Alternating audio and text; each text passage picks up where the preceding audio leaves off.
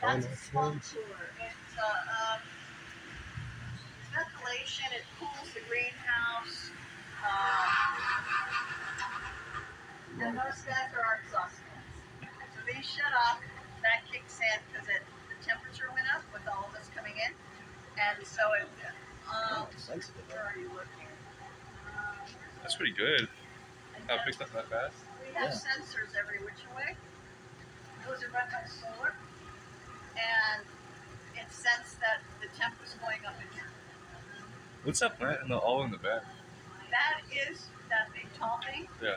Um, the small guy, the green one with the little fuzz going on, that's a corpse flower. Uh-huh. And the other ones are, oh gosh, what are they called? Futarias.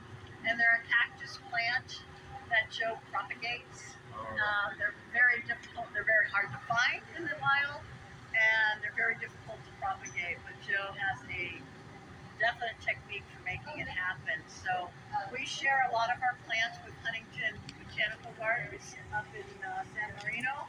We share with uh, Fullerton Arboretum. Uh, a whole bunch of different places. Joe's really well known for his propagation techniques.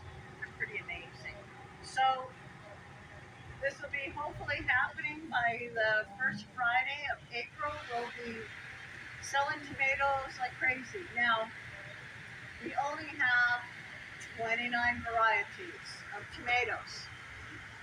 Uh, there are, like Fullerton sells, I'll be the first one to say Fullerton College sells, they have like 200 varieties.